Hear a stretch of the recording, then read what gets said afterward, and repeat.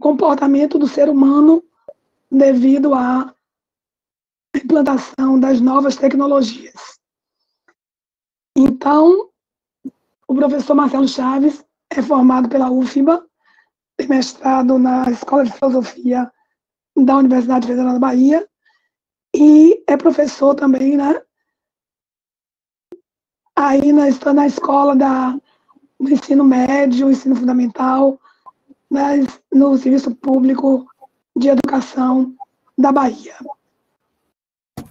Então, professor, acho que já lhe apresentei e desejo boa sorte. A sua fala hoje, com certeza, vai ser brilhante. Obrigada.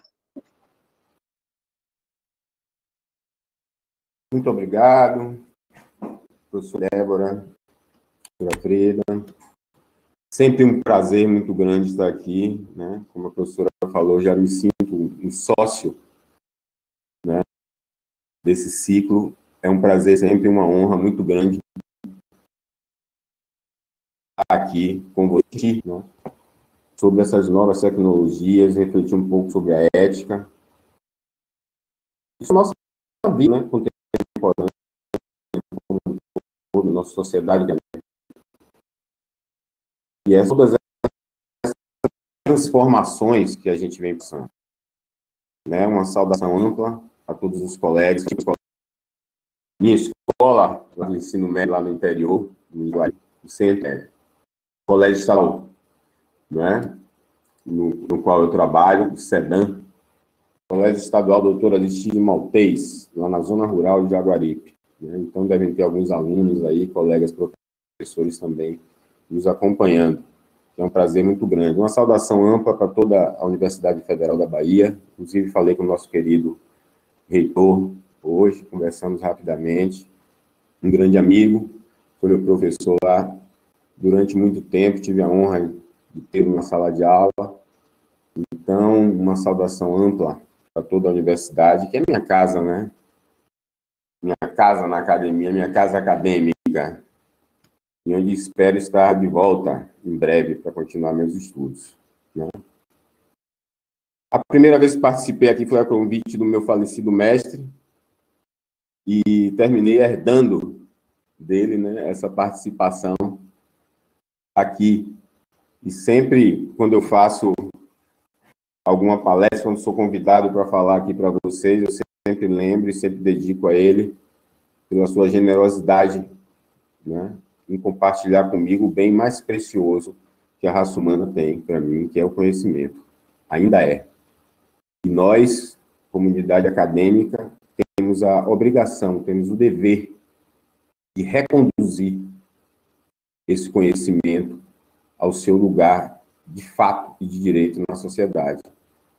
E vem havendo tentativas constantes, né? e não só no Brasil, isso é um movimento mundial da destituição do conhecimento como a referência principal para a humanidade, para a gente poder de se desenvolver enquanto civilização humana. Dito isso, né, e reforçando que é nossa obrigação produzir de volta, principalmente dessas novas gerações aí que estão me ouvindo, o conhecimento ao seu lugar devido, de referência principal. Não apenas o conhecimento racional, e aqui já quero começar minha fala falando justamente sobre esse conhecimento, ou os conhecimentos. Né? Dividimos o conhecimento em quatro: conhecimento empírico, o mítico religioso, o conhecimento filosófico e o conhecimento científico. O nome conhecimento anterior ao objeto em si, já nos mostra que são todos conhecimentos. A humanidade se baseou e se desenvolveu através do conhecimento mítico religioso até a Idade Moderna. Ou seja, a maior parte da sua história. Então, nós temos que entender a dimensão também do simbólico, do empírico e do filosófico para a gente efetivamente poder ter a dimensão do conhecimento e, consequentemente, saber usá-lo em prol do desenvolvimento humano. que é a nossa principal ferramenta. Dentro das aptidões naturais dos seres que habitam esse planeta, né? Os felinos, os grandes felinos com suas garras presas, né? As aves predadoras como a águia com sua visão e outras aptidões naturais, nós temos um corpo físico bastante frágil perante essas aptidões. Mas, por um outro lado, somos os únicos seres na face da Terra capazes de destruir o próprio planeta. A razão humana é a arma mais poderosa sobre a face da Terra, a única capaz de destruir o próprio planeta. E essa razão humana, esse conhecimento, nunca esteve distante da relação de poder. Conhecimento é poder, sempre foi poder e sempre será poder. Verdadeira emancipação humana só se dá através do conhecimento. Porque é o único caminho, vamos dizer assim, que não tem volta. Vocês estão me assistindo aqui, seja no nível médio ou aí na universidade, ou universitários, secundaristas ou universitários, saibam uma coisa: tudo na vida a gente pode ganhar, perder, conquistar amanhã, os bens materiais, mas o seu diploma, o seu conhecimento, ninguém vai tirar isso de você. Isso você vai levar para sempre. E o conhecer é o principal objeto da filosofia. Não é? é a pergunta filosófica. O que é isso? Não é uma pergunta simples, como eu posso ter aqui em minha mão um, um, um lápis e perguntar o que é isso, um lápis. A filosofia não quer saber o que tem em minha mão. A filosofia quer saber o que é isso ser lápis. Quais são as características fundamentais? Como eu nome, por que eu nomeio isso de lápis? O que tem nesse conceito que diferencia de outros? Nós buscamos o fundamento. Nós buscamos a resposta. E a resposta são duas palavras do latim: res e posta. Res é coisa. Posta, pô. Nós queremos. É, bom, pessoal, a gente está tentando. Vou ligar aqui a câmera.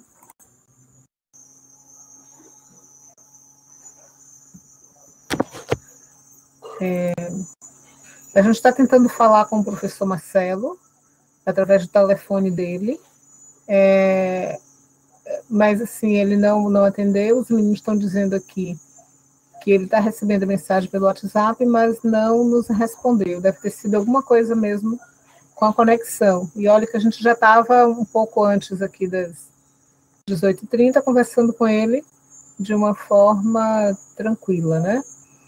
É, bom, o, o professor Marcelo estava né, falando a questão do conhecimento né, na, na sociedade, e então uh, eu já junto com um questionamento que um do, dos que estão nos assistindo, né, que é aluno da, da disciplina, questionou se a gente ia comentar sobre os filmes, né, então nós uh, Estamos discutindo com esses alunos o filme de Milton Santos, Por uma Outra Globalização, e também uh, nós assistimos em conjunto com os alunos o, o filme né, recém-lançado pela Netflix, que é o Dilema das Redes. E nós provocamos o que que, uh, como que a gente conecta né, esses dois pontos. Então, é a questão da globalização e a questão das redes e a questão do conhecimento. Né? Então, a gente percebe que entre todo esse dilema, na base dele está a ética. Né? É, tantas discussões trazidas né,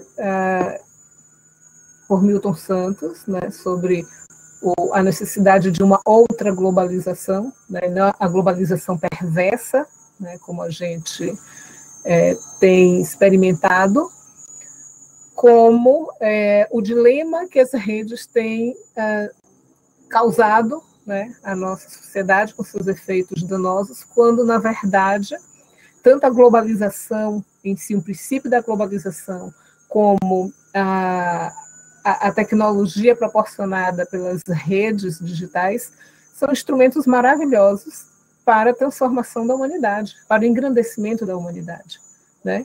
E não ah, para trazer globalização perversa ou para trazer dilemas sociais. Na verdade, o que está embutido aí é uma questão nossa de ser humano e que é, tem na sua essência a questão da ética.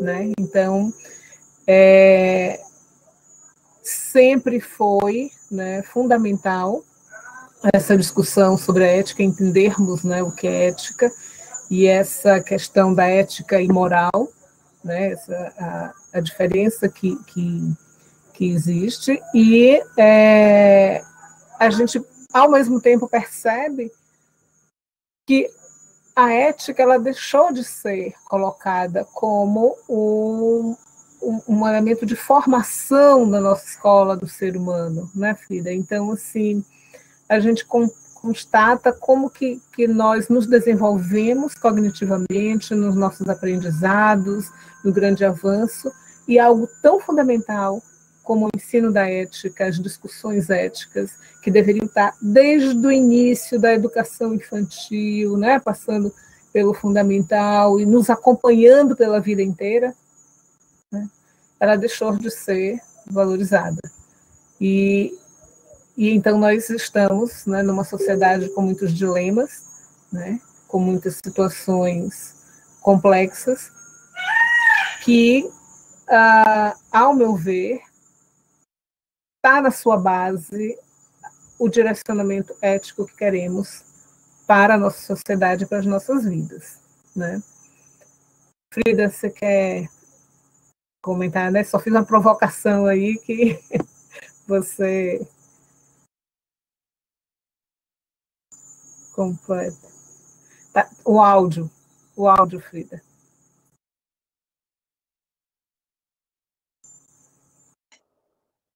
Então, estão me ouvindo? Então, eu acho que o estudo da ética poderia começar nos primeiros nos primeiros momentos da educação formal, na escola fundamental, por exemplo, quando ah, se poderia discutir com os menininhos desde pequenos a sua como é que está a sua atuação perante os seus colegas? Como é que ele se autoavalia? De acordo com as atitudes que ele toma perante seus colegas, o ambiente, o ambiente da escola, a residência, o tratamento com os pais. Na medida em que o menino começasse a perceber que ele tem uma interação e que essa interação com todos os outros indivíduos né, na sociedade e que o comportamento dele influi na interação e no comportamento dos outros, ele começaria a refletir a respeito da sua atuação. E aí, talvez isso já fosse o primeiro passo para os primeiros estudos da ética, não é? A sua relação com o seu próximo e com o seu ambiente, o seu contexto. Você concorda comigo?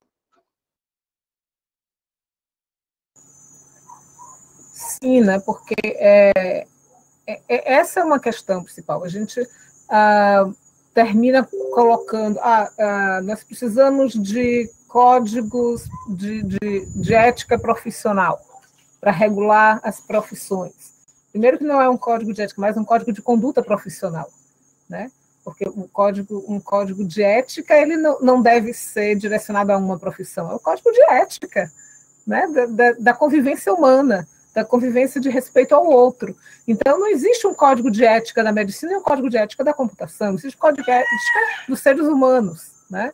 Então, nós temos código de conduta profissional, a conduta profissional do médico, a conduta profissional Isso. do engenheiro, né? Então, assim, a, a gente, é, como sociedade, né, é, perdemos essa noção do, do princípio, né, do que é ética. E aí eu, eu, é uma fala do professor Marcelo assim que ficou para mim é tipo assim, ele disse que a ética é uma senhora muito refinada, né? Ele ele repete assim para gente, eu acho essa, essa, figura de linguagem perfeita.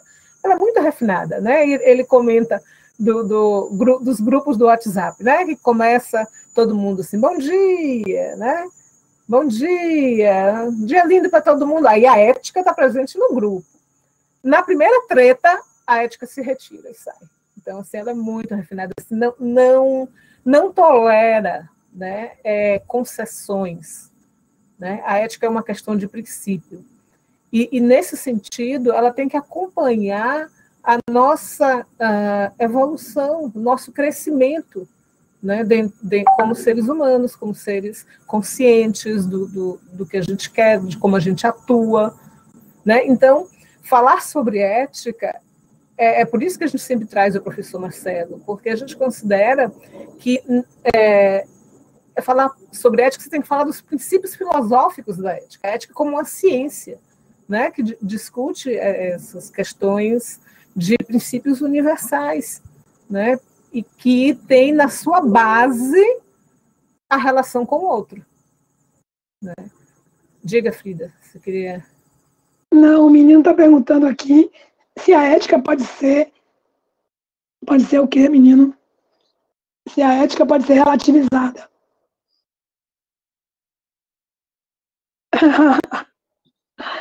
Eu acho que o que pode ser relativizado, ou o que pode ser modificado, ou pode ser, ah, dependendo do contexto da época, do tempo, é a moral. Né? A ética eu acho que. E aí eu fiquei pensando na. Quando, quando foi que surgiu a ética? Quando foi que surgiu a ética? A ética surgiu lá com os gregos, né?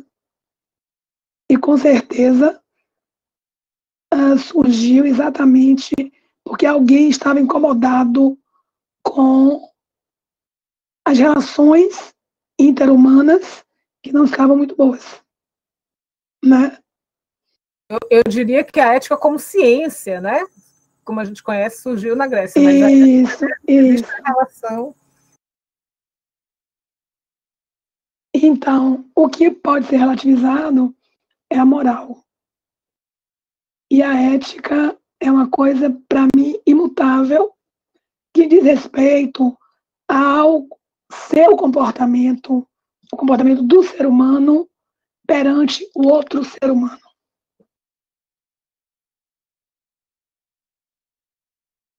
Você concorda?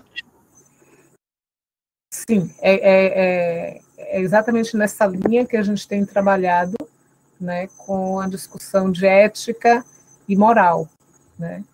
Então, é, é, isso é sempre um, uma pergunta, né? Ética relativizada. Não, a ética, a ética é universal, né? Como, como ciência, ela é universal. O que mas surgiu, surgiu, como é? Tem outra pergunta, mas surgiu a ética ou o conceito de ética? Na verdade, é a, é a ética como uma ciência, né? onde, onde se estuda, né? É, se debate teorias, entendeu? Então, assim, e, e, e o que é que acontece, né? A gente tem, e quando a gente começa a estudar a, a ética, e aí a gente, uh, eu me refiro ao livro né, do, do, do Peter Singer na Ética Prática, que é uma das recomendações que a gente faz para pro, os alunos, é que ele consegue trazer em exemplos concretos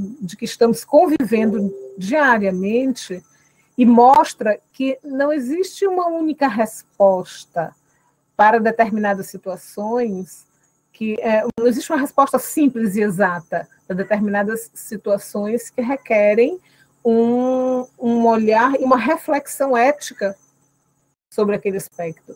Então você tem que é, é matar errado, tá? Matar errado, matar um, um ser humano, matar um animal é errado.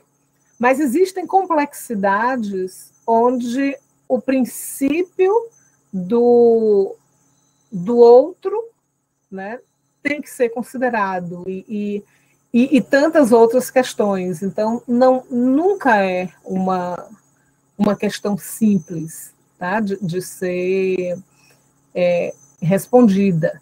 Mas existe, no momento em que você sempre aprende a fazer uma reflexão sobre os seus atos, que efeitos os seus atos estão trazendo, se aquele seu ato ele está é, influenciando o outro para o bem do outro ou não. Então, se você sempre pondera nas suas ações é, esse princípio, então você está fazendo reflexões éticas na sua vida, seu, na sua profissão, na sua forma de agir, você como filho, você como irmão, você como é, profissional, entendeu? Você como aluno, né?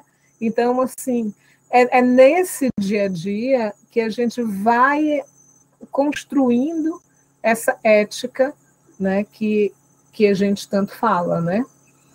É... Quem, tem mais aí alguma alguma pergunta aí? Tem alguém que eu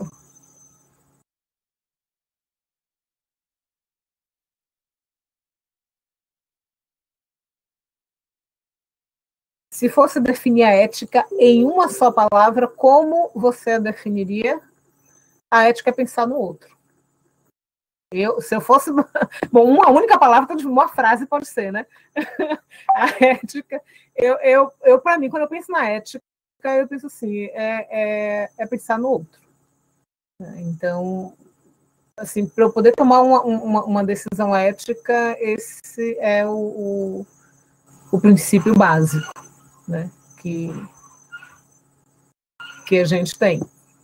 Tá? E se a gente coloca isso como base, então pense uh, em, em, várias situações que existem, né, é, decisões simples né, de comportamento de estudantes numa sala de aula para o seu aprendizado, né, é, há situações complexas de dirigentes políticos que têm em seu poder né, uma capacidade de ah, influir né, em uma grande quantidade de pessoas. Se você pensa no bem do outro, no, na tomada de sua decisão, os efeitos serão muito diferentes do que a gente tem visto. Então, assim, eu considero como do que eu tenho aprendido ao longo desse tempo, né, trabalhando com essa disciplina, chamando convidados, né, filósofos, pessoas de, de, que discutem a ética, né, na, na, na sua ciência, o aprendizado para mim que fica é esse. É, é, é, o princípio que norteia né, um, um direcionamento ético. Você está pensando no outro. O que, que na sua ação, na sua sua decisão vai impactar no outro. Né? Então, esse é o, o grande aspecto. Tá? Vinícius. Pois é, exatamente. Eu penso assim também. É, e por isso, isso tem que ser, eu acho, alertado, iniciado desde a mais, a mais idade. As crianças, desde pequenas, já devem saber, já devem ter mais consciência das suas atitudes, dos conceitos, né? E da sua relação com os, os demais. Vinícius Pinto está colocando ali no, no, no chamado professoras, essa questão da ética. Eu sei que ela é universal, mas eu já vi diferentes visões sobre isso. Dentro da visão libertária, um princípio fundamental ético é que a propriedade privada não pode ser violada. Mas isso não me parece ser uma visão que todos concordam. O que vocês podem dizer sobre isso? Aí eu, eu, eu, eu vou na, naquela base que, que eu te falei. Vamos pensar no outro? Né? O que, que essa propriedade privada, essa ação dela não, não, não ser violada, o que, que tornou, a, qual foi a base, né, de, a origem dessa tomada de posse de uma propriedade privada? Como que uma propriedade se tornou privada? Foi nessa, nessa decisão, é, foi, se pensou no outro? Né? Então, se a gente a gente sabe a origem, né? Se você pensar em, em, em terras, em propriedades, por que, que, que, tem as grandes propriedades de grande pertencente a grandes famílias? Antes, a terra. Bom, aí entra num ponto, gente, que é assim fundamental. A gente precisa conhecer mais a cultura indígena, tá?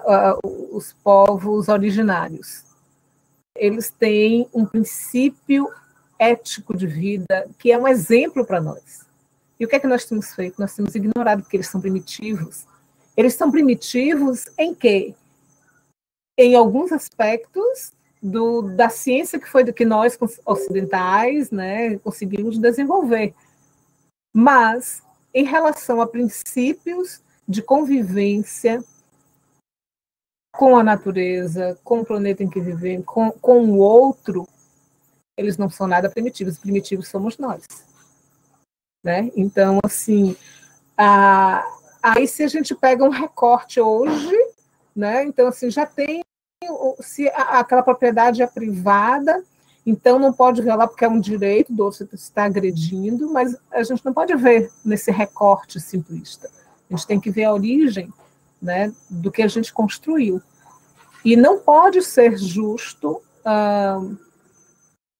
essa, essa distribuição tão distorcida. Né? Eu não consigo imaginar dessa forma. Né? É, que mais? É, como podemos enxergar a ética na polêmica da adoção de um programa de trainee só para negros da Magazine Luiza? Como a ética e a política veem ações afirmativas? Bom, primeiro, Iago, a gente tem que entender o que é ações afirmativas. Princípio de uma ação afirmativa, tá?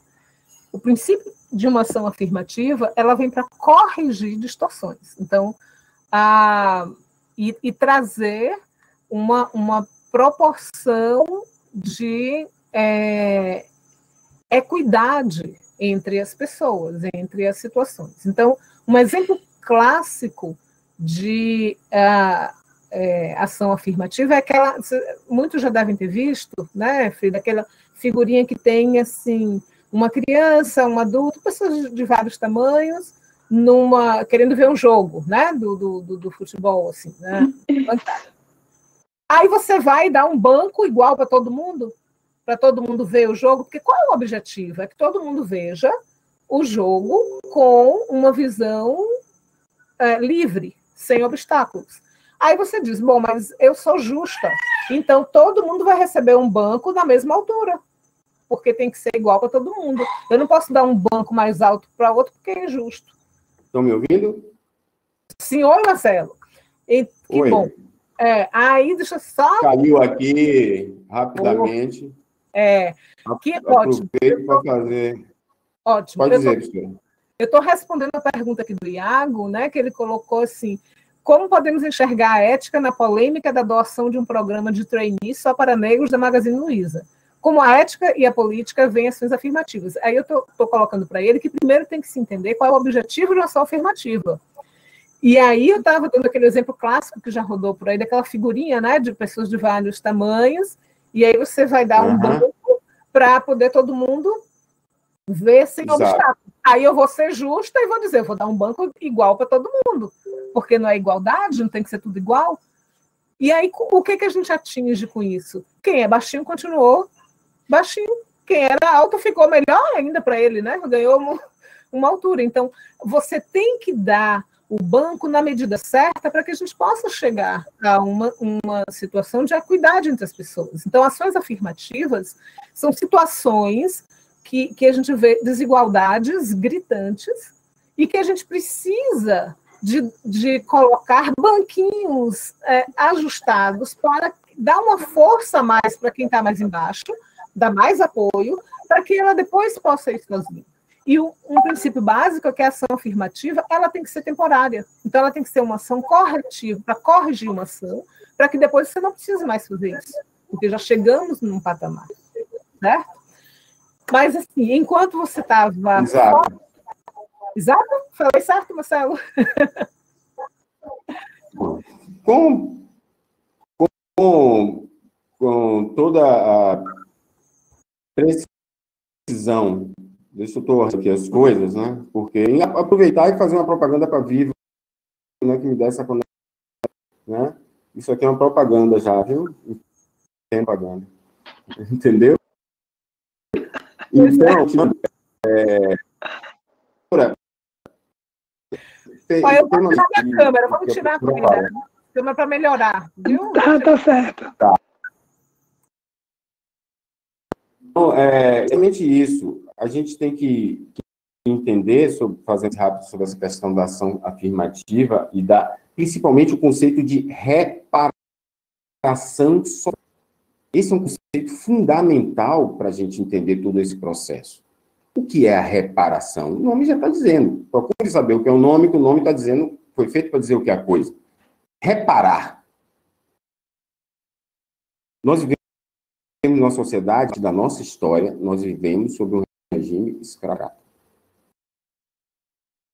Pouquíssimo tempo, né, menos da metade do tempo, que a gente vive a abolição. A abolição não. A abolição fez o quê? Fechou a senzala, expulsou o negro da fazenda e disse: vão se virar. As nossas ganhadeiras, as baianas do Acarajé, tudo surgiram dessa cultura, das mulheres pegarem, começaram a vender as coisas, começar a se virar para ganhar o sustento.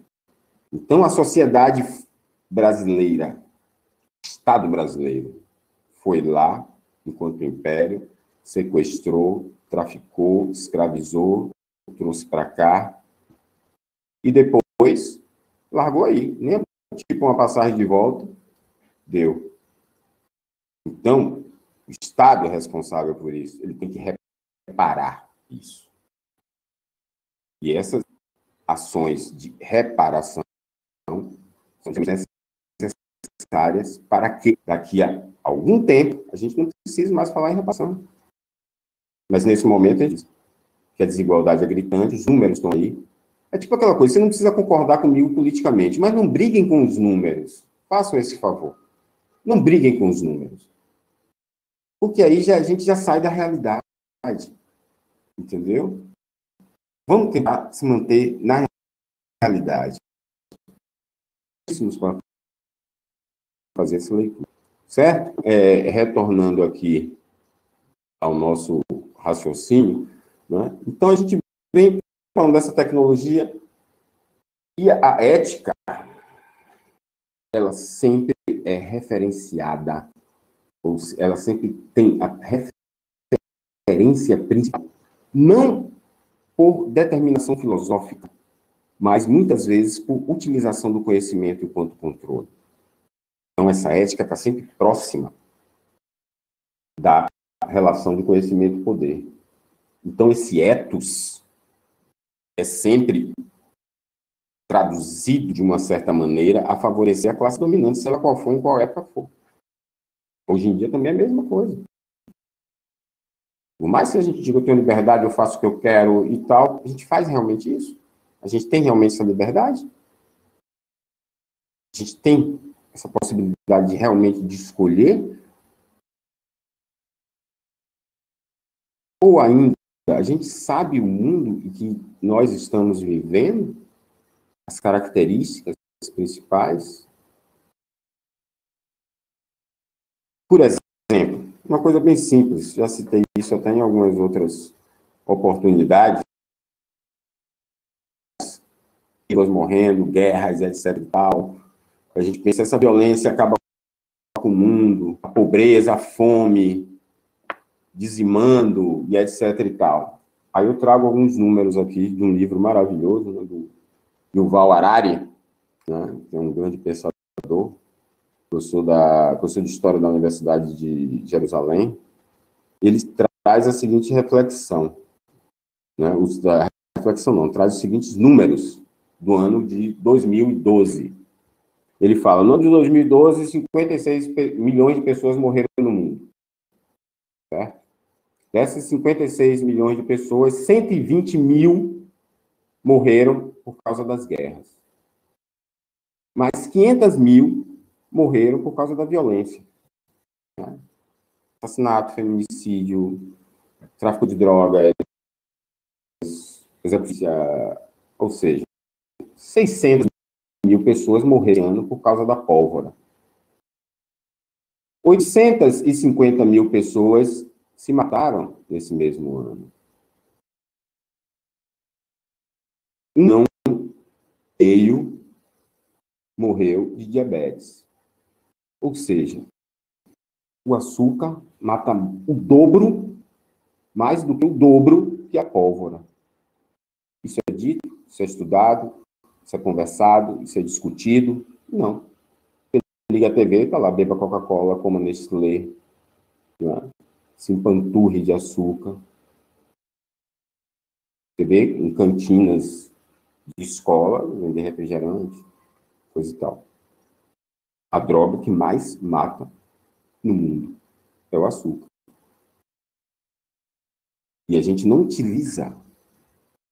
Porque a gente sabe as opções que temos, os recursos que temos para barrar isso. A gente não utiliza essa racionalidade. Por que a gente não utiliza? Aí eu já vou começar a chegar em, com vocês aqui, tentar chegar em algumas conclusões a respeito do que a gente vem falando sobre ética, tecnologia e controle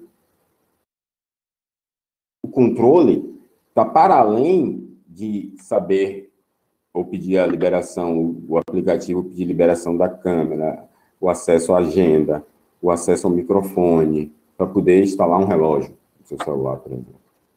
O controle está para além do Snowden, ou do controle tecnológico de redes sociais, etc.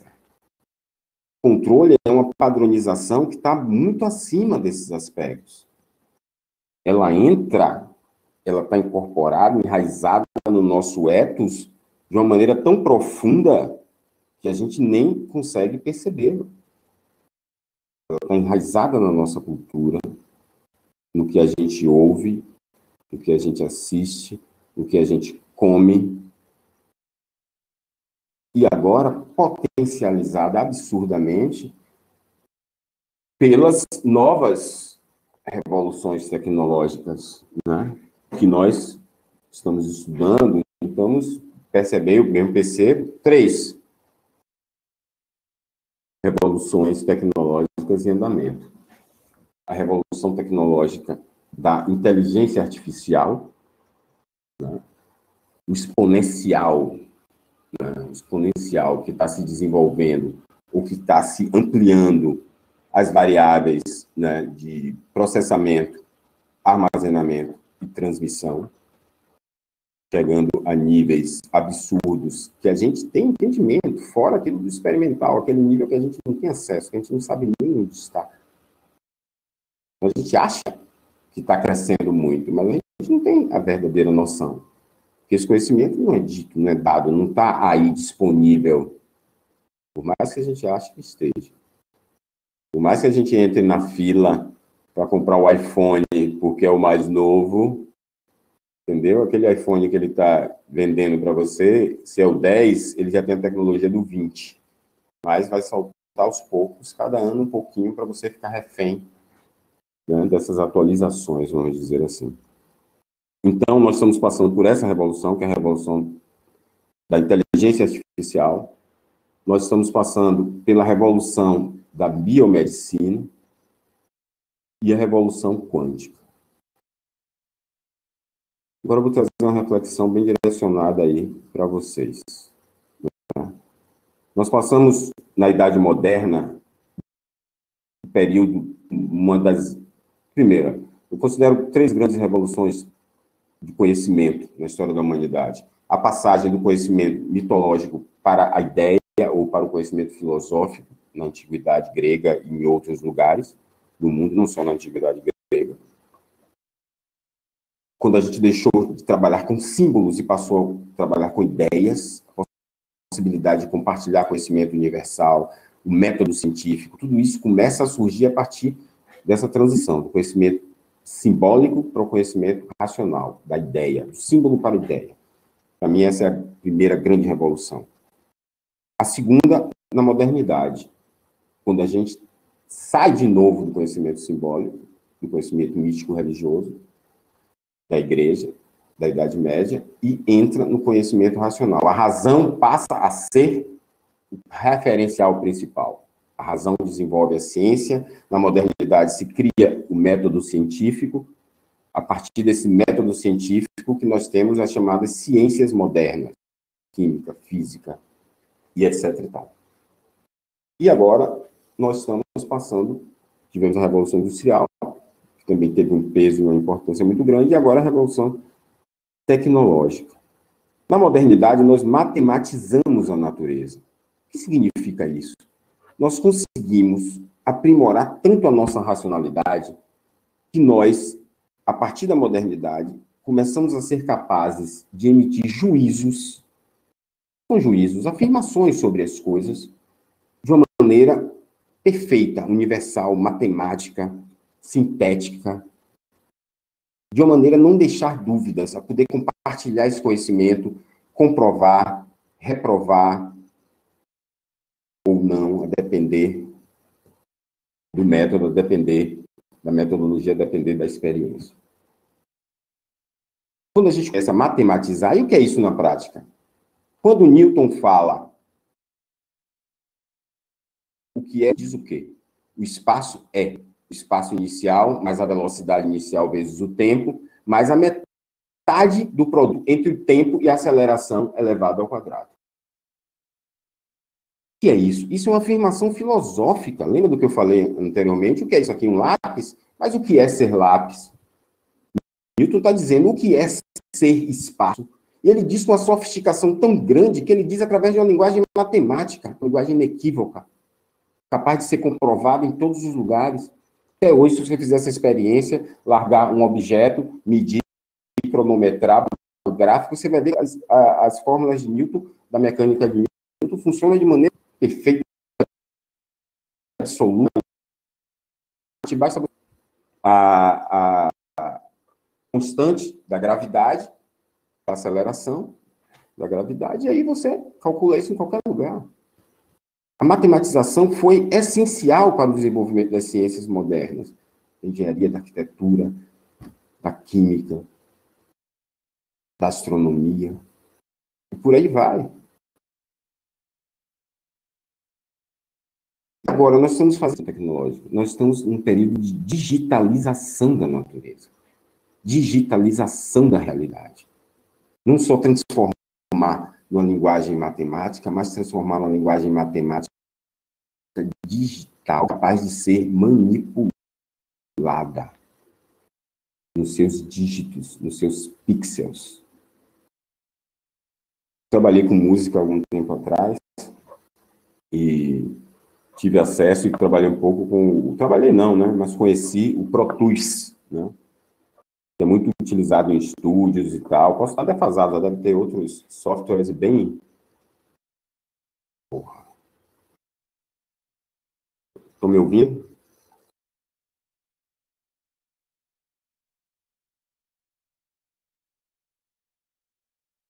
Estão me ouvindo?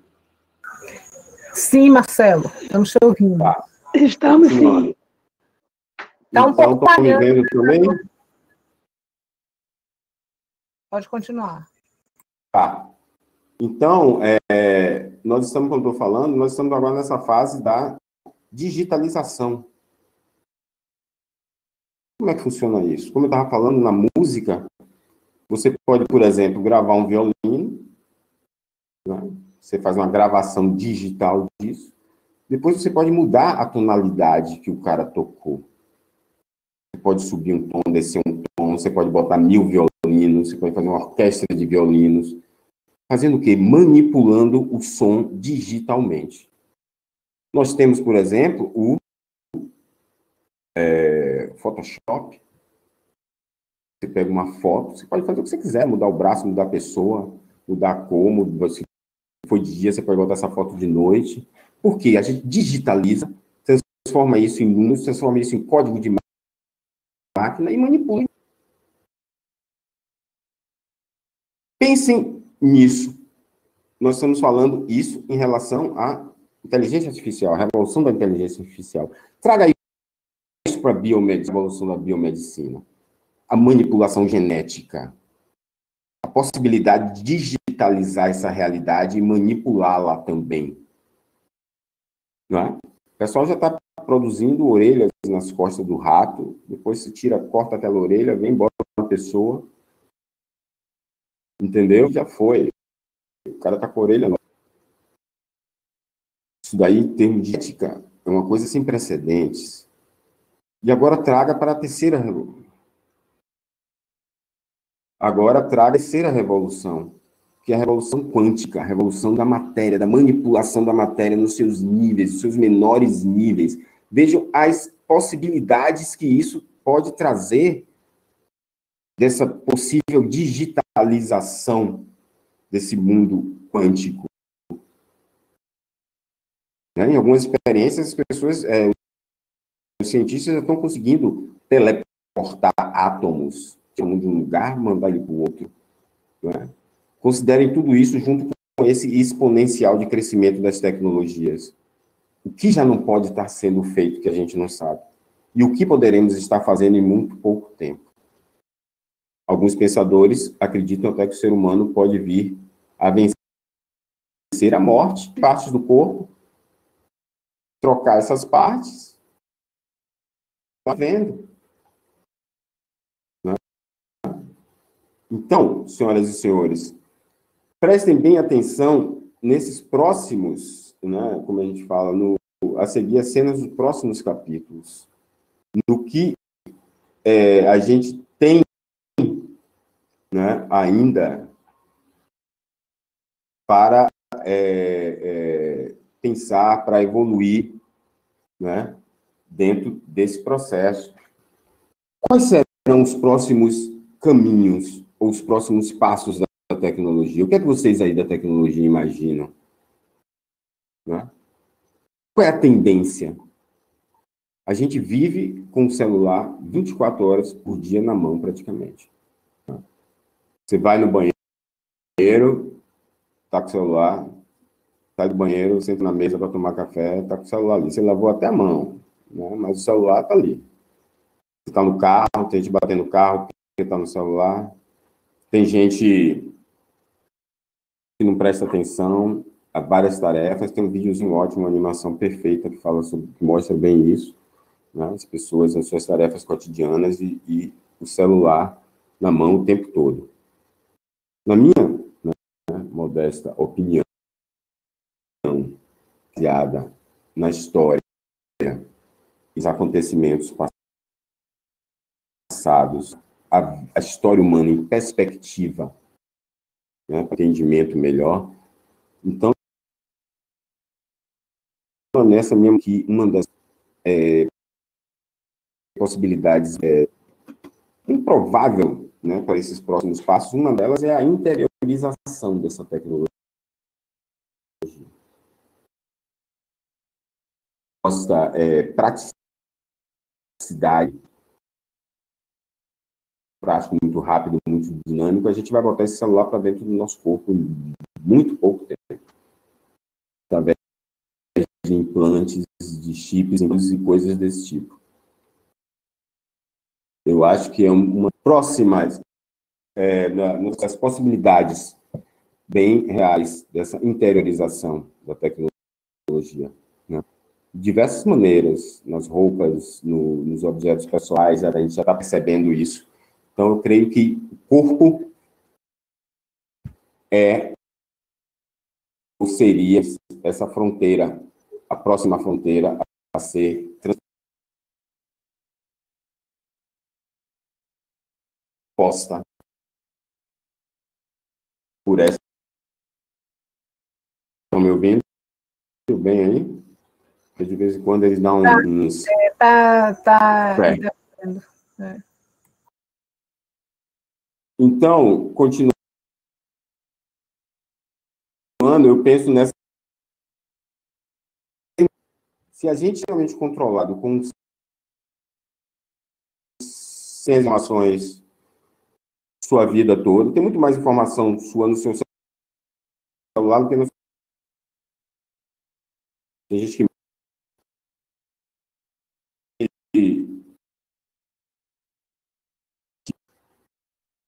É, professor Marcelo, é, é, melhor tirar a câmera, porque está é, é, picotando muito o som. Então, você tira a câmera para ver se o seu som vem melhor. E depois você reclama lá com a Vivo. Viu?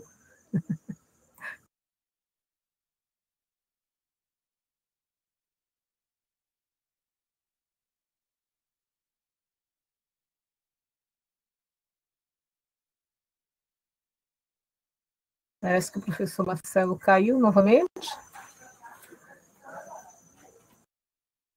Professora Frida. Pronto, agora, Marcelo. É, Ele caiu de novo. Oi.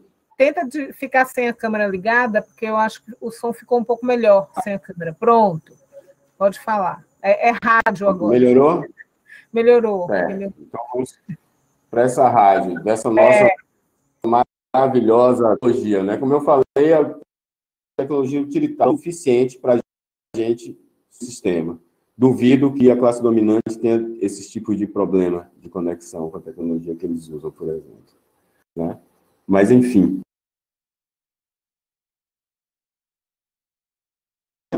Finalizando, eu quero mais vocês responder a, as perguntas, né? do que ficar aqui falando muito. Né? Então, é, é, tornando essa questão do controle, então se a gente,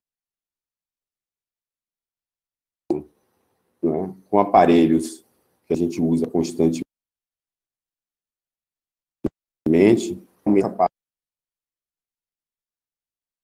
da interior qual o problema? Nós nós não temos o acesso e nem a capacidade de acessar essa tecnologia por completo.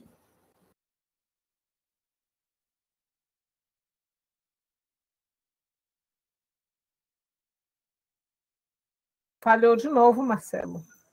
Tá, tá ouvindo? Acho que agora ele caiu de vez, né? Bom, é, é, é o que temos, né, a nossa realidade tecnológica. É, bom, eu acho que a gente, ele já estava caminhando para as considerações finais para poder é, responder perguntas mais direcionadas. Então, a gente vai escolher aqui algumas perguntas, né, para que a gente possa Estava é, interessantíssimo, né, Nicolas? O assunto, a ideia de romper os limites do corpo humano é fascinante, é fascinante e, e, e muito desafio, muito desafio mesmo, né? E nós temos que, que pensar né, e discutir. E principalmente, uma, uma coisa importante, né? Nós uh, que somos da área de tecnologia, a gente tem que pensar né, do que, é que estamos ajudando a construir né, dentro dessa visão ética certo? É, o professor Marcelo sumiu de novo.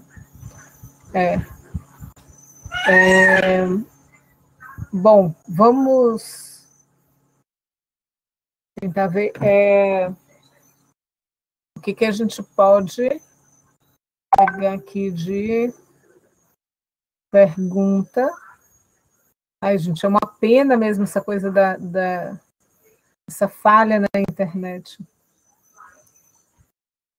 Porque o professor Marcelo ele tem reflexões muito interessantes, né, dessa essa visão, né, do, do que está por vir, como ele colocou, dos próximos capítulos, com toda uma bagagem filosófica de, de estudo que ele tem, né, de estudos uh, filosóficos, e, e, traz assim reflexões muito importantes para a gente.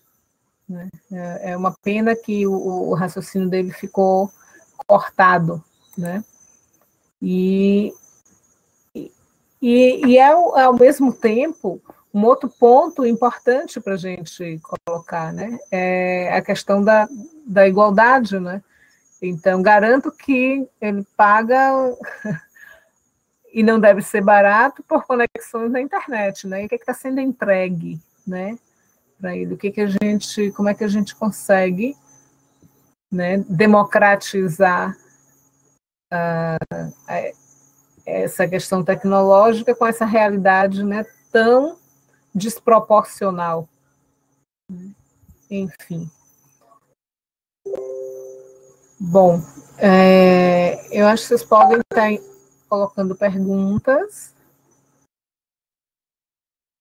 Alguém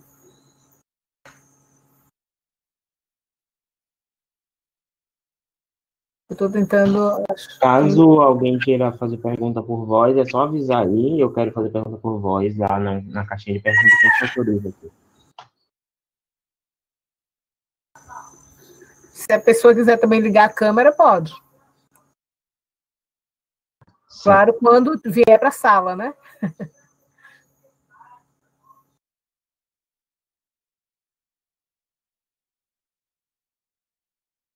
Alguém? Tem alguém, João, que está querendo fazer uma pergunta direcionada?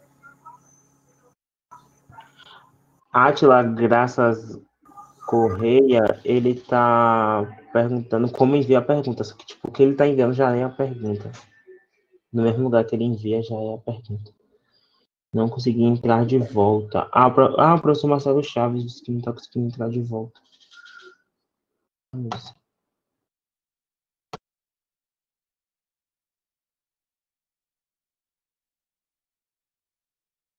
Será que ele não conseguiu entrar de volta? Enfim. Tá, mas é isso. É, quem estava na dúvida onde mandar a pergunta é justamente onde você escreveu por onde mandar a pergunta. Vocês mandam por, por ali que a gente reproduz aqui no, no áudio. Ou solicita para entrar na sala, que aí a gente migra para a sala e você pode ligar o microfone ou a câmera e fazer a pergunta. Oi, Marcelo. Está de volta aqui, chegando de volta. Vamos ver se ele consegue conectar aqui.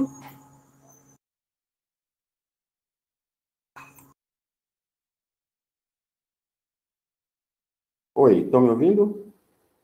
Sim, Marcelo, estamos ouvindo mais uma vez, fazer propaganda na maravilhosa conexão da Vivo.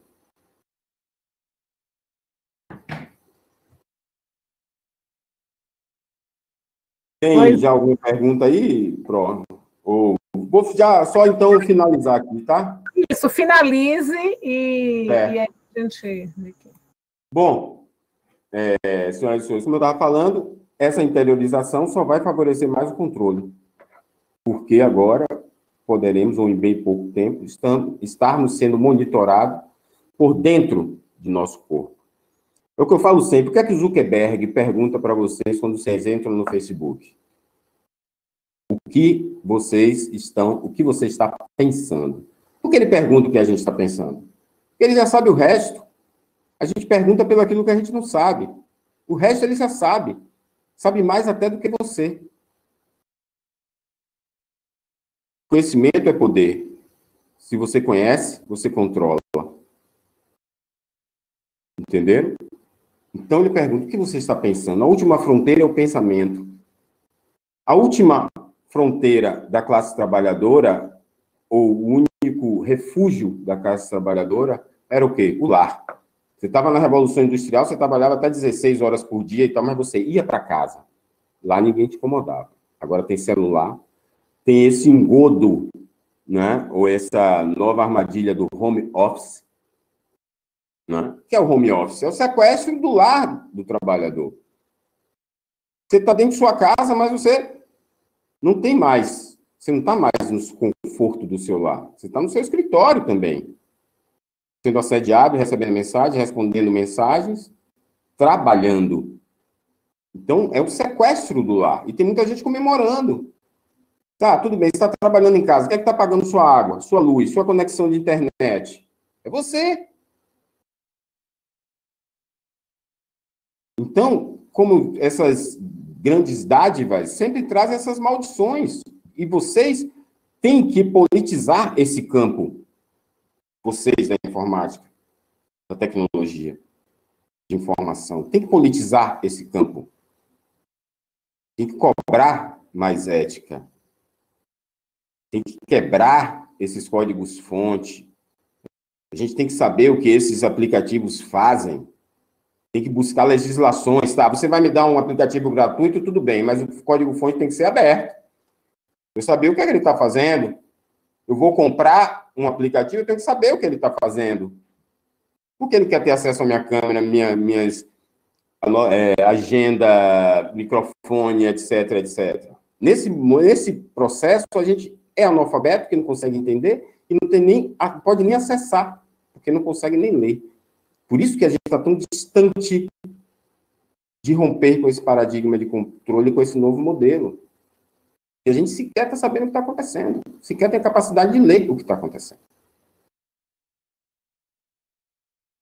E para finalizar, o grande ardil criado pela classe dominante, né? Tem o filme Advogado do Diabo, que eu acho maravilhoso, com o Alpatino e Ken Reeves, e no qual, no filme, é, o Alpatino faz o papel do próprio diabo, e ele fala, o pecado que ele mais gosta no ser humano é a vaidade.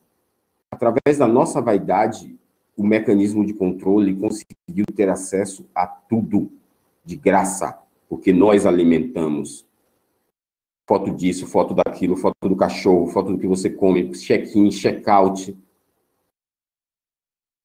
Waze,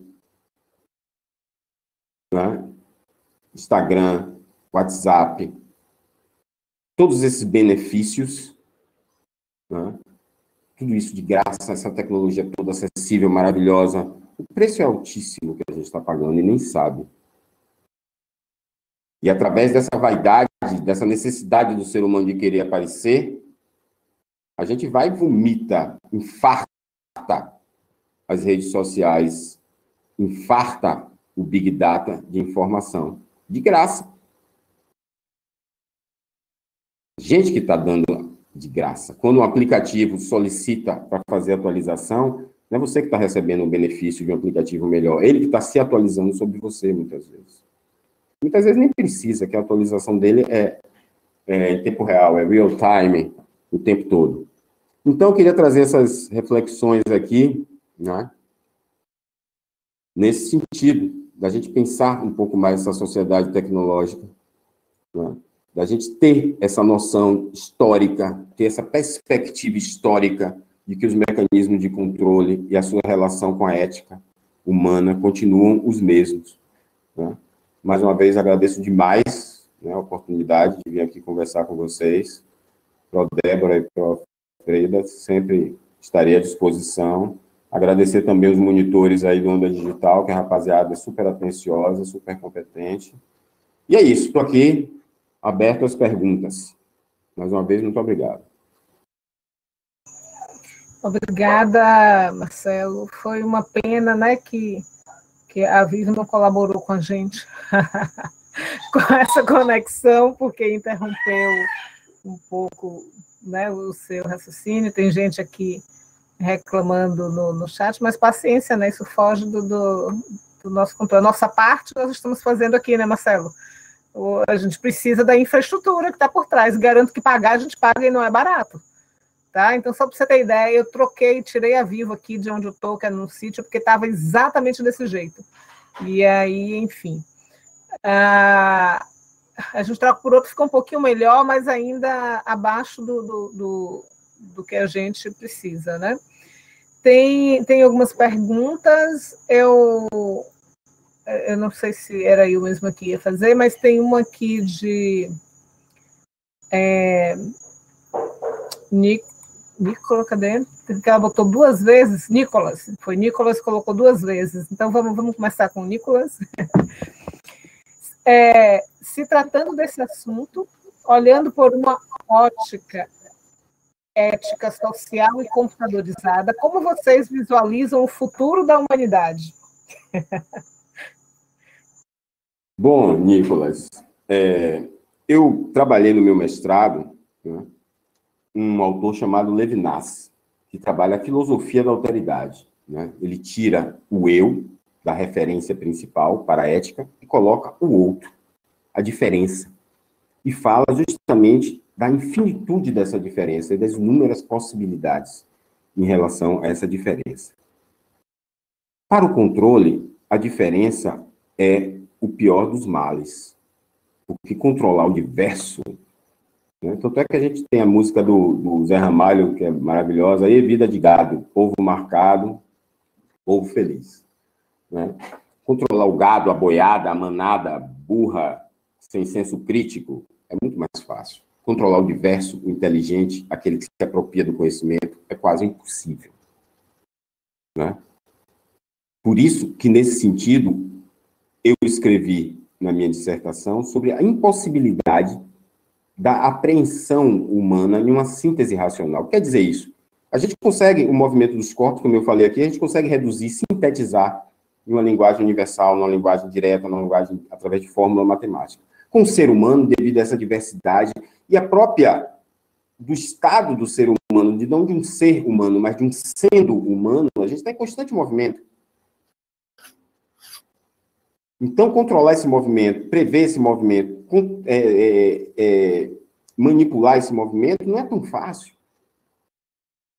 Então, os mecanismos de controle né, buscam justamente domar essa diversidade humana. No meu mestrado, eu disse que isso seria impossível. Agora, no meu doutorado, durante minha pesquisa, eu já estou a tese vai ser justamente que eu vou tentar é, é, comprovar ou negar, é se essa possibilidade de controle não está muito mais próxima. Porque com a capacidade de armazenar dados, de transmitir, de processar, né, os algoritmos estão aí mostrando. O primeiro algoritmo da Google, gerado pelo Google, não reconhecia o negro como ser humano. Estão entendendo o perigo dessa inteligência artificial, se ela não estiver muito embasada em uma ética? E pela história a gente percebe que ela não, tá, não vai estar tá embasada na ética, a não ser que a gente busque essa emancipação. Porque não vai ser dado de graça para a gente. Então eu percebo uma perspectiva de futuro não é, de praticamente um apocalipse zumbi de pessoas completamente dominadas, completamente viciadas, completamente alienadas e presas a tecnologias, né? sem utilizar isso para a emancipação humana. A gente fica o dia todo no celular, mas o que, é que a gente busca conhecer? Então, nesse sentido, eu vejo uma perspectiva bem é, é, difícil, mas, ao mesmo tempo, a humanidade, os futuros estão abertos, as possibilidades estão abertas. Né? Tomara que eu esteja errado. Espero que eu tenha respondido. Só respondendo uma pergunta aqui de um participante, Leandro Alves quer fazer uma pergunta por voz. Vou pedir que você entra, solicite a entrada na sala aí, que a gente autoriza, aí você faz a pergunta.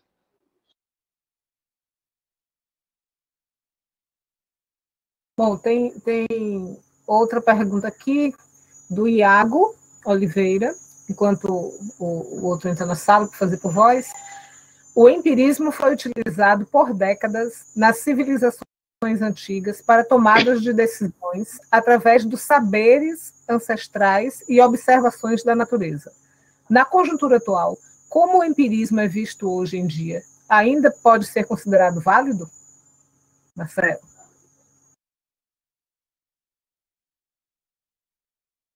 Se ainda pode considerar. Ó, presta atenção.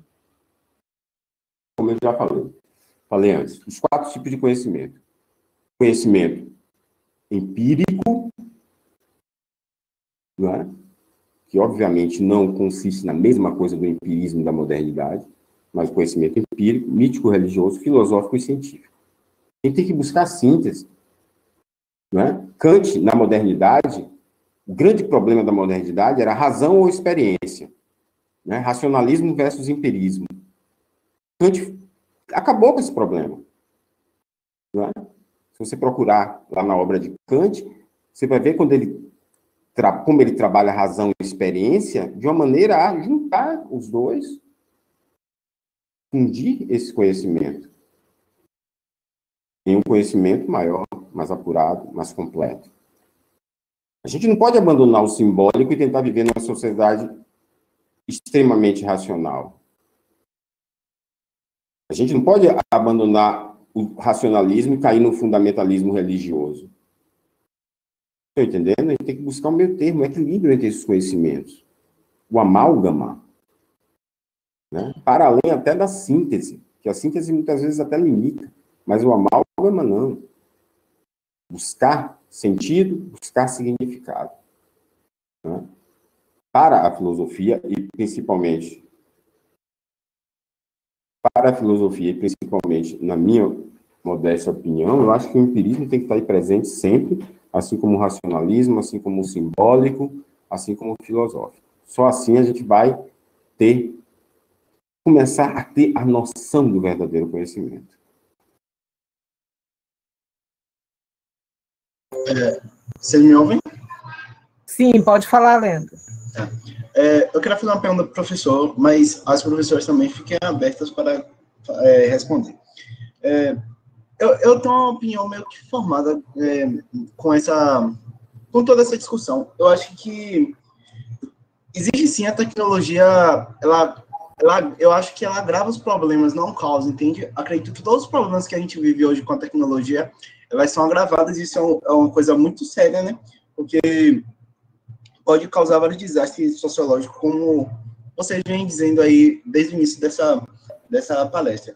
Só que, tipo, se a gente for analisar os, os eventos sociais que acontecem, que, que estão marcando aqui, praticamente todos existiram antes de, da tecnologia. Tipo, bullying, webbullying, hoje existe, só mudou o nome, né? Webbullying para o bullying pessoal, é, presencial controle de massas, a televisão faz isso desde de, do, de que ela começou a existir, os jornais fazem isso, é, é, análise de dados também, desde sempre. É, o Walmart fazia análise de dados basicamente antes de ter acesso à internet para todo mundo, é, fazendo análise de dados pelas compras dos, dos seus clientes e vícios, né? Se a gente for ver, é, tem uma foto que acredito que algumas pessoas já viram aqui, que, que, são vários homens, uns seguidos, é, assim, tipo, parecendo uma fila, e todos com o rosto nos jornais. Então, é, pareciam muito hoje as pessoas que andam no telefone, né? É, até tem um filme que a gente, assisti, que a gente assistiu, que o, tem um, um senhor que ele fala, né, que é a mesma coisa antigamente, só mudou o meio. Então, eu quero queria perguntar o seguinte, se a gente criando um meio que essa demonização da tecnologia, a gente pode combater o problema errado. É, Leandro, né? Perfeito, Leandro. Agora preste atenção numa coisa. O que é que eu estou aqui falando também desde o início? Os mecanismos de controle e o modus operandi da relação conhecimento e poder é o mesmo, das cavernas até hoje. Só mudam um pouco as, como vou dizer, só muda as tecnologias. Mas o fundamental, o filosófico, o fundamento está ali. Continua o mesmo, não é? Exatamente, viviam com a cara enfiada no jornal, agora estão com a cara enfiada no smartphone, né? E por aí vai. Agora, preste atenção numa coisa. Da mesma maneira que nossa possibilidade de acessar a comunicação e o conhecimento nunca foi tão grande, não é? Da mesma maneira, sobe também, né, o nível, como a gente vê aí, de um senso comum, de uma desinformação global. Os processos continuam se repetindo, e aqui também não há nenhuma, vamos dizer assim, tecnofobia, nenhum combate à tecnologia, muito pelo contrário. Ela tem que ser celebrada, ela tem que ser é, democratizada, o que eu estou falando aqui, ela tem que ser acessível a todo mundo, a gente tem que comemorar, a gente tem que avançar muito mais ainda. Mas a gente, o que a gente fala não é mal da tecnologia, mas mal do, da utilização da tecnologia para o controle. Da mesma maneira que o eu estava debatendo lá na sala de aula, os, os, os alunos falavam, professor, mas fala um pouco aí sobre o problema das drogas. Eu digo, qual é o problema das drogas? Eu nunca vi nenhuma droga ter problema. Quem tem problema são os seres humanos que não sabem utilizar essas drogas. Estão entendendo? Você vê isso aí no exemplo do álcool. Quantas pessoas nós conhecemos que consomem álcool? E quantas dessas pessoas têm problemas com álcool? Poucas, em relação às que consomem. A droga não gera problema para ninguém. O ser humano que não sabe usar que gera problemas de saúde, problemas sociais e por aí vai. Mesma coisa a tecnologia. A tecnologia não escolhe ser boazinha ou ser má. Os seres humanos que monopolizam, que dominam e que utilizam essa tecnologia fazem a coisa dessa maneira. Entendeu? Então não há nenhum combate à tecnologia. Há o combate ao mau uso. A utilização do conhecimento e, consequentemente, da tecnologia como uma prática com conhecimento aplicado nessa prática, no desenvolvimento de ferramentas e etc e tal, de uma maneira a se controlar, a se dominar. Certo? A questão é nesse sentido aí. É, é isso, eu não tenho nada a acrescentar, não. O grande dilema é exatamente esse, né? É, é qual é o uso que a gente vai estar fazendo, né? Do, do que temos em mãos, né? E aí, Marcelo, vou, vou colocar duas questões que eu estou vendo aqui, que são curtas, e aí você. Vou fazer as duas logo, certo? É, uma acho que foi aqui, o, o Rogério perguntou: Marcelo, boa noite. O que você achou da polêmica do aplicativo TikTok nos Estados Unidos de Trump? E a outra que é, perguntou assim, foi Suiane. O senhor tem algum hábito cotidiano para romper esse controle? em relação às redes sociais, por exemplo? Marcelo. Bom, né, sobre o TikTok, né, eu volto a dizer, né, é o mesmo princípio. É como se utiliza a coisa, e não da coisa em si. Né?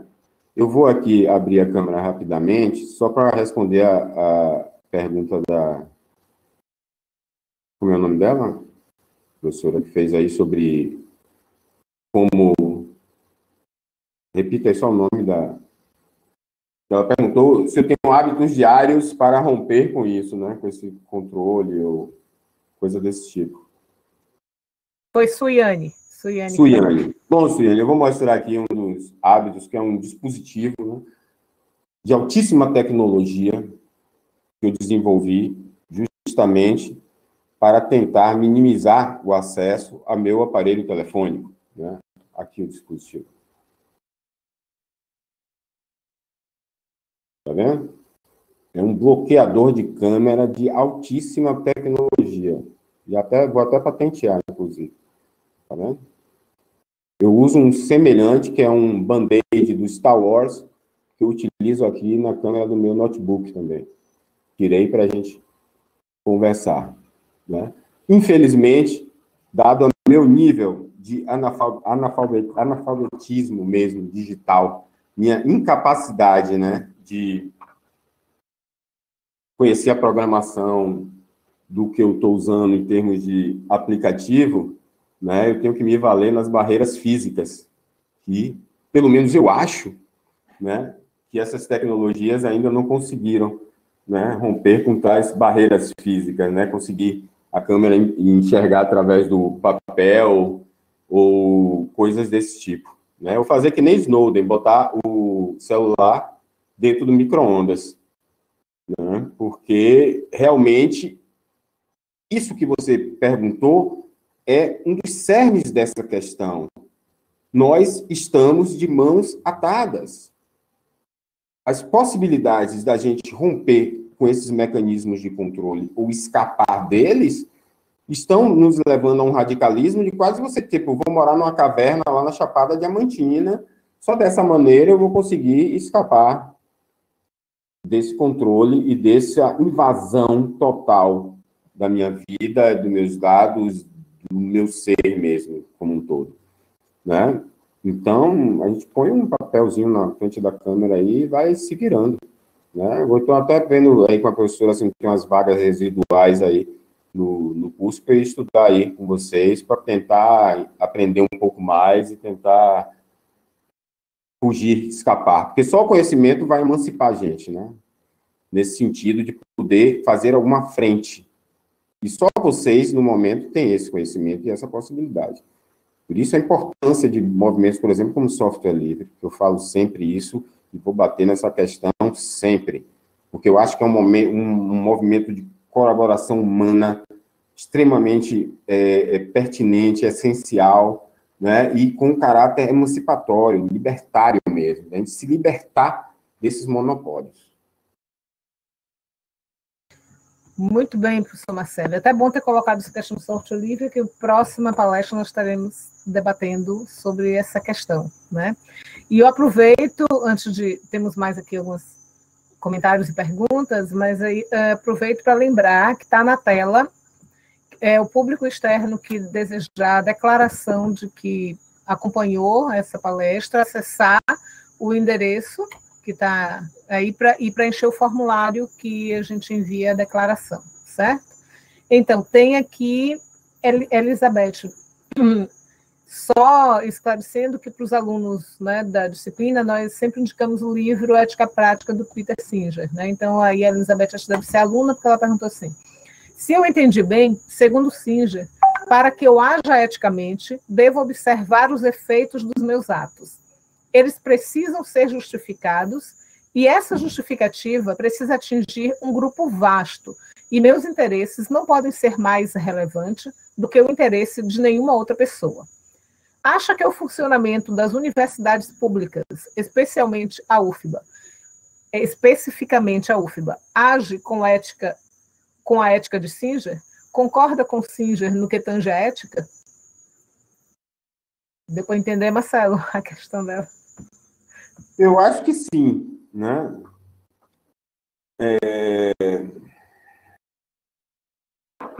Vamos é, voltar um pouco no tempo, né? Meu tempo de estudante da UFBA e de é, na época que eu estava no, eu fui do DCE, viu? Fui aí do DCE da do glorioso diretor do glorioso DCE da UFBA, né? Vamos voltar um pouco a esse tempo. Teve um congresso de estudantes que uma das falas de abertura foi do nosso ex-reitor, professor Naumar Almeida, filho, né? um grande mestre, um grande amigo também. E o professor Naumar, enquanto reitor, fez o seguinte discurso. Ele falou: a universidade é atrasada, arcaica, conservadora, corporativista, exclusivista, endógena. E falou mais alguns adjetivos e depois disse: Não falarei mais porque sou o reitor.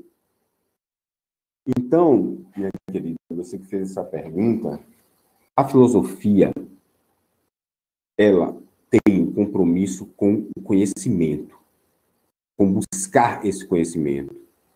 A filosofia tem um compromisso com a reflexão sobre a realidade. A filosofia aponta caminhos a partir disso. Geralmente, o ser humano não segue esses caminhos. Como eu falei aqui, muito mais prático ainda. Não segue o caminho da ciência mais simples, da biologia ou da nutrição. Veja a maneira que a gente se alimenta né? Como eu falei anteriormente da questão do açúcar. Então, nós não praticamos o conhecimento que a gente tem em prol dessa emancipação. A universidade faz a mesma coisa. Por isso que é importantíssimo. Quando eu entrei em 2003 na, na UFBA, né, quando eu entrei aí, é, a universidade parecia que eu estava em Estocolmo, parecia que eu estava na Suécia, na Suíça. Eu não via o povo de Salvador na UFBA. Depois, com as ações de reparação, com as cotas, os programas de permanência, que não é só entrar, mas permanecer, eu já vi, eu já saí da universidade, ela já tinha uma cara completamente diferente.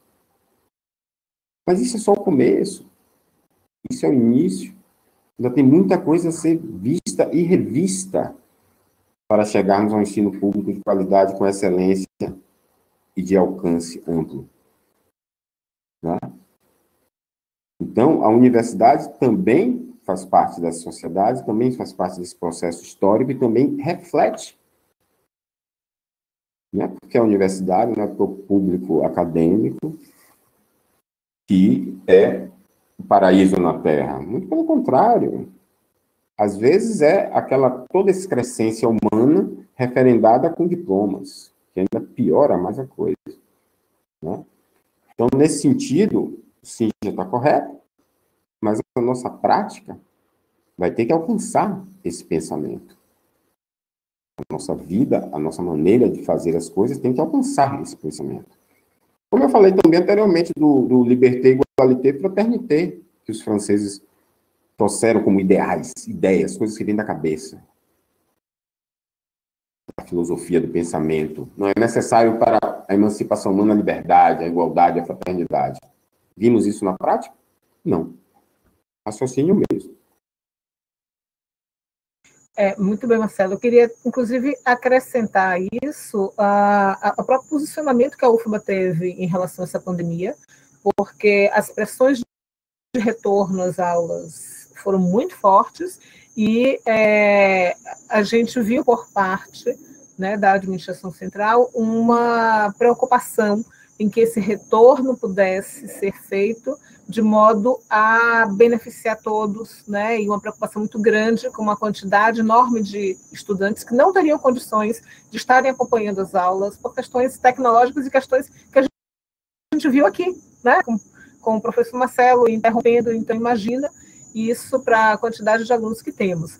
Nosso tempo está pertinho de estourar, acho que estourou, quase faltam dois minutos, mas a gente pode estender um pouquinho mais, mas quem, quem não puder ficar, né, tudo bem, mas a gente pode ficar mais um pouquinho, né, Marcelo, mais uns 10 minutos, pode ser? Sem problema, sem problema. E aí eu queria, não sei se Frida quer comentar alguma coisa, porque Frida é professora na, na, na UFBA por muitos anos, então não sei se Frida quer comentar um pouquinho sobre essa questão, Frida? Colocada por... Enquanto Frida vê se, se... Pronto, Frida. Pode falar, Frida. Hum, rapaz, eu prefiro não comentar, não. eu estou muito, muito ruim de voz. Mas, enfim, durante a minha escalada na, meu caminho na universidade, eu vi muitas e muitas atitudes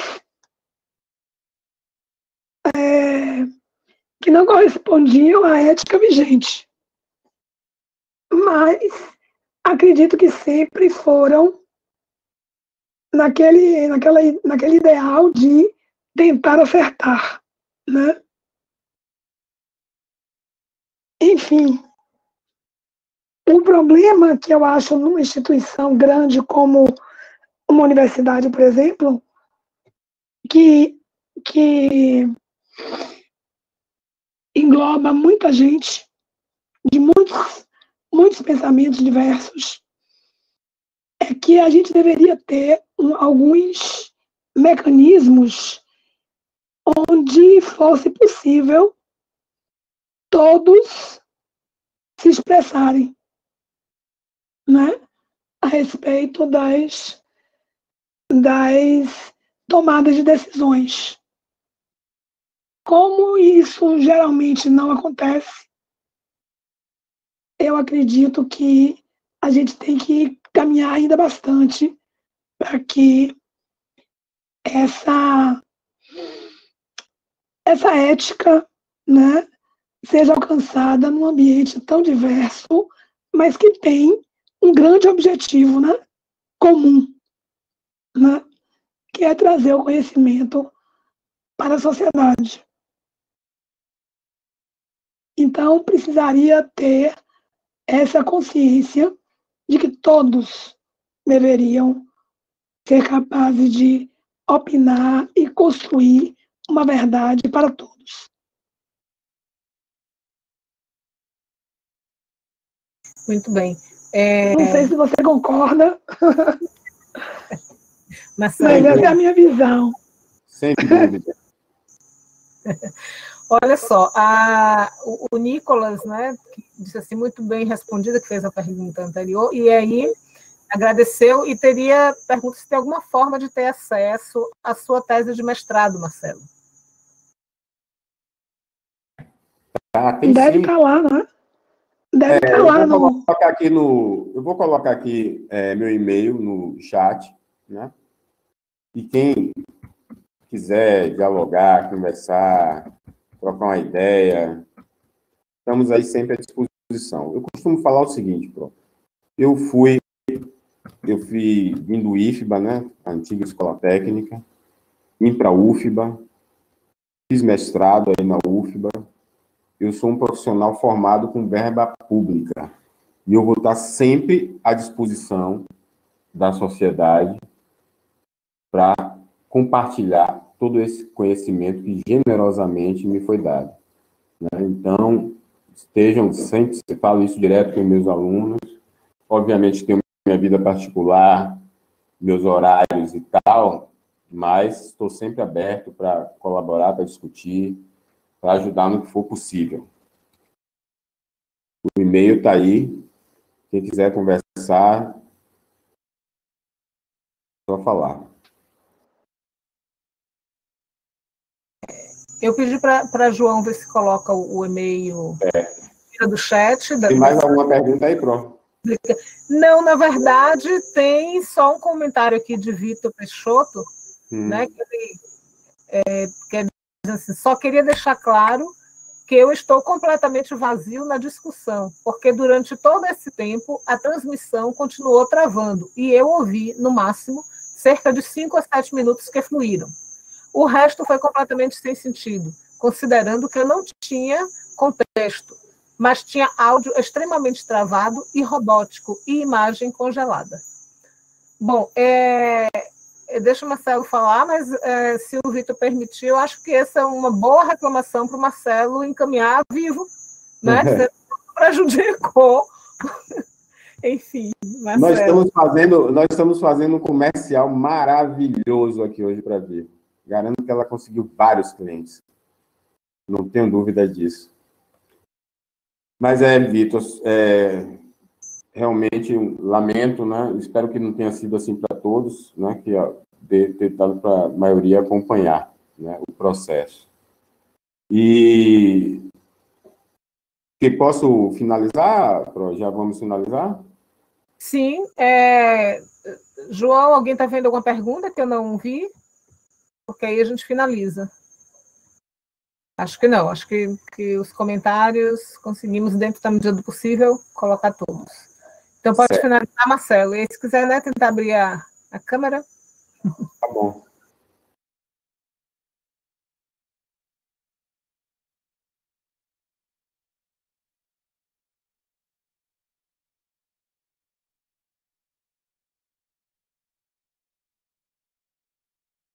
Pronto. Bom, primeiramente, você, né? Gostaria, de mais uma vez agradecer a minhas queridas colegas, professoras, né, por mais esse convite. Me honra muito, né? Nos honra, garanto que meu mestre, lá onde ele estiver, também se sente honrado pela continuidade da participação, né? e da generosidade que vocês têm de acolher também a filosofia.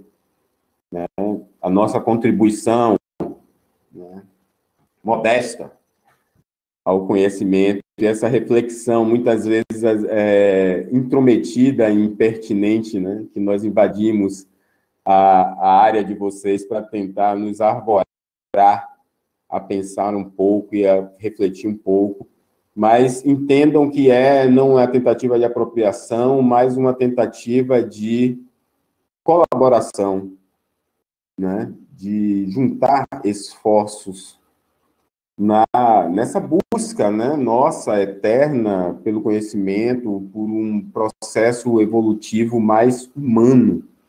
Né? A gente ouve aí direto, eu estou ouvindo direto, essa é, humanização do SUS, parto humanizado, né? humanização da polícia. Eu digo, gente, éramos marcianos e eu não sabia. Estamos passando por um processo de humanização, né? Não, não éramos humanos. E, de fato, se formos analisar mesmo o conceito de ser humano, a gente percebe que a gente não se encaixa nele. Né? Viver bem, conviver bem, produzir bem, a gente não faz isso. Então, efetivamente, temos que nos humanizar.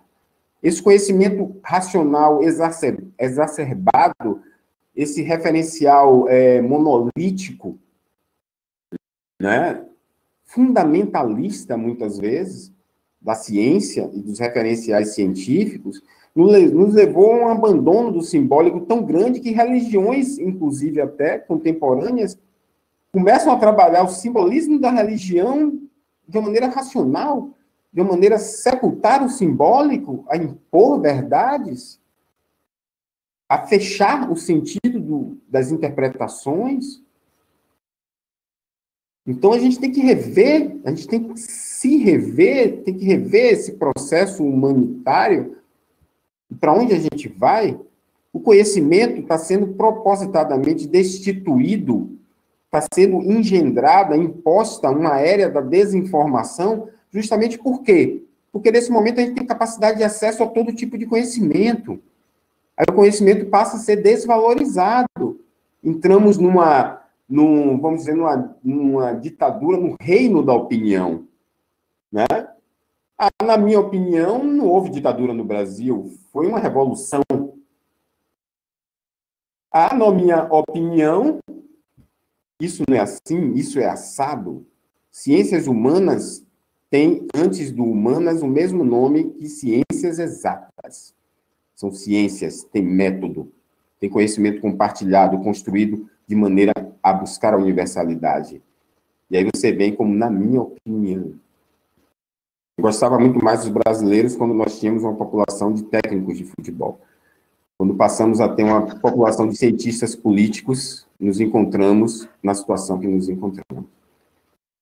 Né? Da mesma maneira que eu não vou né, me arborar a projetar um prédio ou fazer um cálculo estrutural de alguma construção, as pessoas têm que ter mais cuidado ao emitir opiniões acerca das ciências humanas. Ciência humana não é terra de ninguém, onde a opinião de qualquer um vale. Não. Nós trabalhamos com método, com números, com estatística, com muita reflexão. E a gente tem que valorizar, cada vez mais, buscar valorizar o conhecimento. Temos que, como falei no início, trazer de volta o conhecimento ou os conhecimentos como referenciais não só conhecimento racional científico na sua dureza, na sua exatidão, mas também permeado pelo simbólico, pelo empírico e pelo filosófico. Eu acho que só assim a gente vai conseguir minimamente se emancipar, ter noção do que somos e, muito mais importante ainda, traçar o mínimo de perspectiva para onde queremos ir enquanto seres humanos. Minhas queridas, mais uma vez, muito obrigado. Saudade, né? De estarmos presencialmente, que é sempre mais empolgante, né? Mas não podemos também deixar de, de nos ver, de compartilhar, de conversar, porque estamos distantes. Estamos isolados, mas não estamos sós. Né? A todos que nos, todas que nos assistiram, um grande abraço, estou sempre à disposição para quando quiserem. Se o pessoal lá do interior estava por aí, meus colegas e alunos, um beijão. Estou com saudade de vocês. Vocês são as murrinhas, mas a gente termina amando mesmo, né? Então, estou sempre à disposição quando quiserem e vamos conversar mais. Vamos ver, professora Débora, aquele grupo multidisciplinar, transdisciplinar. Com né? certeza. Disciplinar. né? Vamos juntar conhecimentos aí, interpretações e vamos dialogar. Vamos. É o que nós temos. É. É, Pois é, professor. é a arma que nós temos. Diga, Pro. Pois é. O senhor sempre nos enriquece com seus, seus pensamentos, suas palavras, viu? Eu fico encantada senhora com a sua, né? com a sua facilidade e é, é, é muito importante, é muito necessário unir a filosofia, trazer a filosofia para todos os, os âmbitos da universidade. Filosofia não é separada, filosofia dá a base né, para todo o nosso viver na Terra. Então é isso, mais, mais uma vez, muito agradecida. beijos. Até a próxima, viu? Tudo de bom, se Deus quiser, Estarei na próxima também. Tá bom, um com abraço. certeza. Tchau. Professora Débora, Vamos encerrar a gravação, né? João, É. por favor, que está no, no comando, pode encerrar. Isso, encerramos. Muito bem. E a transmissão também, estamos encerrando a transmissão e a gente continua.